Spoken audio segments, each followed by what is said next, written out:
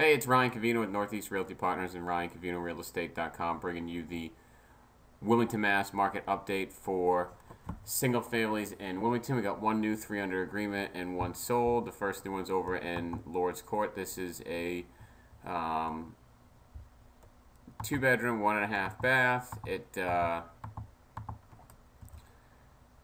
it is a ranch style home. Just came on the market for 245.3. There's been a couple bank owns over there, so be on the lookout for um, other ones or make sure that you get it at a good deal. 1701 Lord's Court.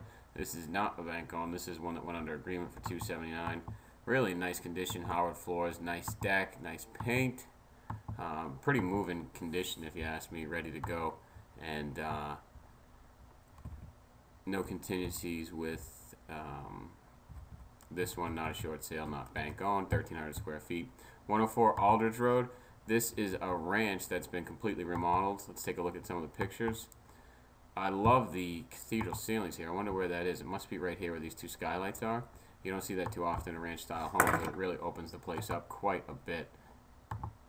Here's the, um, you can see right here when you walk in, come right into the living room, wrap around the staircase to the basement, where we have a finished basement.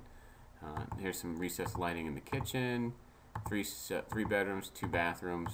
Pretty nice house for 314.9. Let's see how long it was on the market for. About 105 days, a little bit longer than I expected, but it started at 324.9. 10 Fox Run Drive went under agreement at 350. It's a cool split.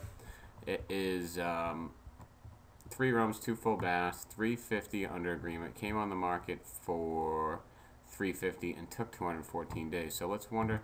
Let's see if it started with a different office or something. Uh, no, it started at 419. That's probably why it took so long. It started in July for 419 ultimately selling for 350 and um, or going under agreement at 350 who knows what they actually sold it for. 9 fairfield road is a new construction price, uh, place with a price of 500000 fairfield streets like um, it's if you're on route 38 going towards tewksbury it's down on the right. And this was on the market for roughly 50 days and a starting price of 439 so i'm not sure if they screwed up putting the price in or it went up to 500 with some of the extras they put in there Let's see who built that. Yeah, similar people who uh, do a lot of spec houses in Wilmington.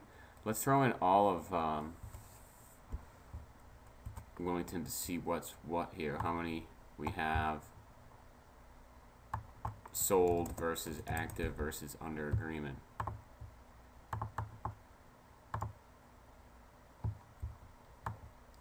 Currently have 60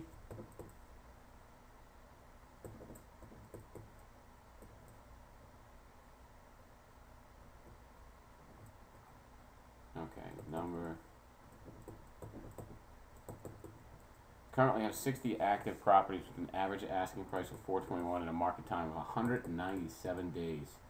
It's uh, just over six and a half months. Under agreement, this week we had three at 314 with a market time of 167 days. So you can see the average asking price is higher and the average days on market is higher for the active listings. And then the sold one took 50 days. We got one of them and that was for 500 so this was because it was new construction and a property that was a little bit more desirable brand new and um, that is probably the reason for it taking significantly less time than the active number and the under agreement number. So if you have any questions give me a shout ryan at ryancovino.com talk to you soon